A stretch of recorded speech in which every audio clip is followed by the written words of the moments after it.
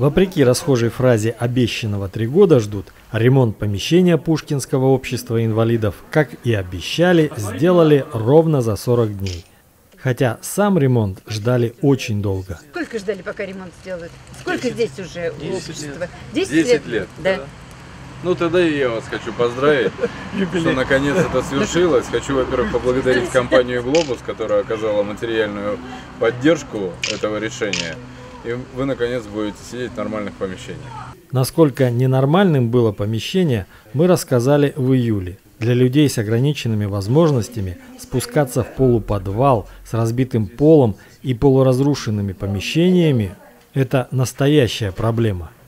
Слава богу, вот за полтора месяца нам сделали цивильные условия. Общее помещение, коридор хороший, туалет, фойе, вход хорошо сделан. Ну, удобно. То есть людям с ограниченными возможностями здоровья, с, с проблемами в передвижении, ну, сейчас э, наше помещение стало гораздо доступнее. Директор фонда развития Пушкинского района Артур Гагиев остался в тени, хотя именно его стараниями был выбран подрядчик, а главное инвестор, выделивший деньги – компания «Гиперглобус», которая активно участвует в социальной помощи.